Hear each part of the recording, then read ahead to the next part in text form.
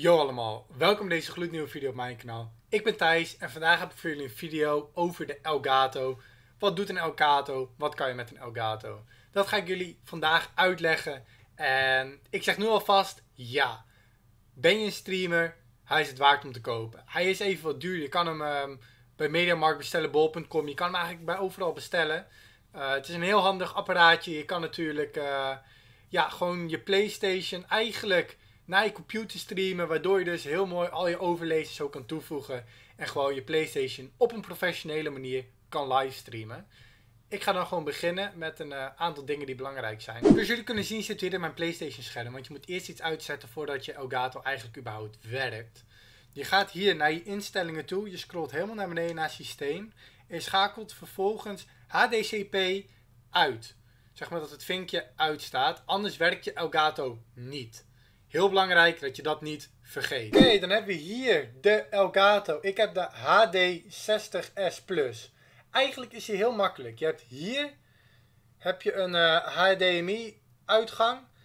En aan deze kant heb je een HDMI ingang. Ik weet niet of jullie het goed kunnen zien. Een ingang.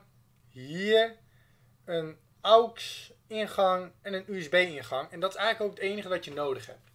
Wat ga je dan doen? Eigenlijk is dat ook niet zo moeilijk. Je pakt een HDMI kabel. Je pakt een HDMI kabel.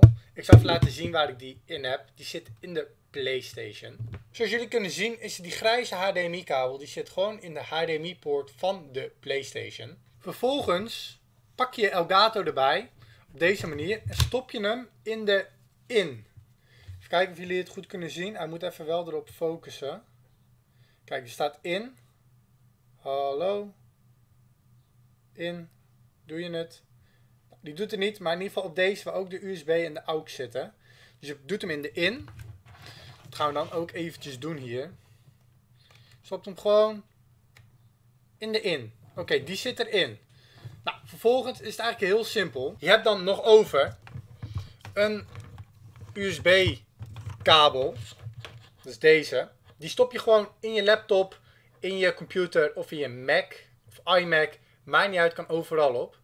Dus die stop je gewoon in de USB aansluiting. En deze douw je ook hier dan in, in de USB aansluiting van de Elgato. Natuurlijk met het korte uiteinde, anders past die niet. Ook gewoon andersom denk ik. Wel even doordrukken, maar ik ben bang dat ik het dan verpest. Dus ja, deze die doe je ook gewoon achterin in de Elgato. Naast de HDMI kabel die je net hebt gedaan. Zo, die zit er nu ook in. En dan heb je hier nog een AUX ingang zitten. Ja, jullie zien hem niet heel erg. Misschien kan ik wel even bijschijnen. Even kijken. Kijk, daar zie je nog een AUX ingang. Daar.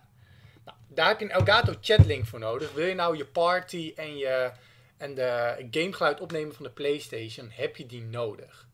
Dus die kan je gewoon bestellen, bol.com, 15 euro. Is gewoon een AUX kabel. Die doe je vervolgens dan ook zo achterin. Dan heb je deze drie kabels compleet. In principe kan je hem nu neerleggen. Maar ik wacht nog heel even. Dan heb je nog een HDMI kabel. Die HDMI kabel. Die doe je in de out. In de out. Ik weet niet of jullie het zien. In de out van de, van de Elgato. Op deze manier. Gewoon zo erin. Nu zie je dat hij aangaat. Hij brandt nu rood. Het heeft even tijd nodig. Ik zie hem hier nu naast mij opstarten. Dat is een goed teken. En natuurlijk de andere kant van de HDMI-kabel, die douw je in je, um, in je monitor. Ik heb twee monitoren. Je hebt maar één monitor nodig. Um, want ja, de rest is op je computer. Uh, dus die douw je in je, in je monitor. Gewoon achterin. In de HDMI-spot. Eh, dus deze is nu klaar. Deze kan je nu neerleggen. Oké, vervolgens ga je dan naar jouw Google en je zoekt op Elgato Download. Dan kan je hier uh, product selecteren waar het om gaat. Nou, het gaat niet om een camera en ook niet om een audio. Het gaat om een capture. Dus de HD60S of de S Plus, 4K60S Plus. Je selecteert gewoon degene die je hebt gekocht. Dan natuurlijk het platform waar je hem op wil downloaden, Mac of Windows. Druk je op Windows, druk je op uh, HD60 Plus. En dan kan je hem hier gewoon downloaden. Nou, ik heb dat natuurlijk al gedaan, dus dan gaan we even kijken wat we precies in de app moeten doen. Op dit moment zit ik in de Elgato app. Um, nou, hier zie je gewoon het beeld. Als ik even ga bewegen, kijk, dan zie je dat ook. Alles zie je. Ga je hier naar de instellingen. Hier kan je eventueel alles aanpassen. Is niet nodig, kan je doen. Um, nou, algemeen even het formaat even bekijken of dat natuurlijk klopt. En dan moet je hier ook even goed inkijken. Want stel je hebt de chatlink, dan moet je naar analoge audio. In plaats van HDMI audio, anders pakt hij hem niet. Dus analoge audio. Dat zijn eigenlijk de instellingen. Dan kan je deze kan je weer sluiten. Nu je dat hebt gedaan is het natuurlijk belangrijk om je uh, Elgato in je Streamlabs OBS of in OBS te krijgen. Weet je nou niet hoe dat werkt? Zoek dat even op. Ik ga er binnenkort nog een video over maken over hoe heel OBS, of eigenlijk Streamlabs OBS werkt. Maar voor nu ga ik ervan uit dat jullie weten hoe dat moet. Het is niet zo moeilijk op zich. Volg gewoon de stappen die ik doe en dan komt het wel goed. Eigenlijk is het vrij simpel. Je drukt hier op nieuwe source of nieuwe scene en die noem je gewoon Elgato Game Capture. Bijvoorbeeld, hè? Of PlayStation 4 Capture. Misschien beter. PS4 Capture. Druk je op Done. Nu heb ik alles al snel even toegevoegd. Jullie zien hier nu een eindeloze loop. Dat behoud je omdat hij de hele tijd mijn eigen beeld reviewt. Dus je ziet mij 25 keer. Hoi, leuk.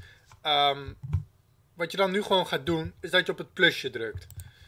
Dan ga je naar Video Capture Device. Want ja, het is een Elgato Capture Device. Het is een Video Capture. Dan druk je op Add Source.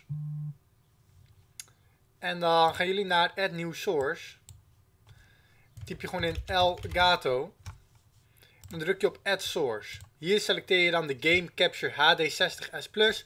Of de HD60 of de HD60S. Of de 4K, welke je dan ook hebt gekocht.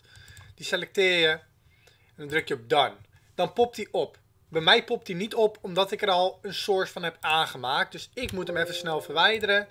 En dan moet ik even snel een nieuwe toevoegen. Kijk. Dan sleep je hem naar onder, zodat je al je overlezen er overheen kan doen. Kijk. Zo. Dan kunnen we die uitzetten. En dan hebben we nu ons PlayStation beeld in OBS. Zoals jullie zien, ik zal nu even heen en weer gaan rechts, links, rechts, links, rechts, links, rechts, links. Dus jullie zien, er zit geen delay in. En dat is gewoon het chillen. Ik bedoel, je dit stream je, dus als er wat delay in zit, maakt niet uit, kan je allemaal aanpassen. Dat, dat is het zeg maar, en zo makkelijk kan het zijn. En dan als je daarna op elk plusje hier weer drukt, hier kan je allemaal dingen toevoegen. Bijvoorbeeld je facecam, doe je ook bij video capture. Of een game op je PC, game capture. Of een um, source, bijvoorbeeld dat je nieuwe abonnees in beeld komt. Allemaal dat soort dingen kan je doen. Eigenlijk was dit gewoon uh, ja, hoe je een Elgato installeert. Het is eigenlijk heel simpel. Zo moeilijk is het niet. Het is eigenlijk plug and play. Nadat je even de app hebt gedownload. En weet natuurlijk hoe Streamlabs of OBS werkt. Ik ga ervan uit dat jullie dat weten. Weet je dat niet? Laat het even in de reacties weten. Dan maak ik daar een video van. Vergeet ook zeker niet even de vorige video's te checken. Bijvoorbeeld hoe je met je telefoon een facecam kan gebruiken. Of hoe je snel op de 4000 uur komt. Jullie kunnen de playlist daarboven vinden. Die komt nu in beeld. Dan wil ik jullie gewoon hartelijk bedanken voor het kijken. Ik hoop dat jullie het leuk vonden. Ik vond het in ieder geval wel leuk om deze video voor jullie te maken. Dus laat even weten of jullie hier wat aan hebben gehad. Als je vragen hebt, mag je ze altijd stellen. Kan ook in mijn Discord. Linkje staat in de beschrijving. Dan hoop ik je terug te zien bij de volgende video op mijn kanaal. En zoals ik dus dan altijd zeg, tot de volgende video en later.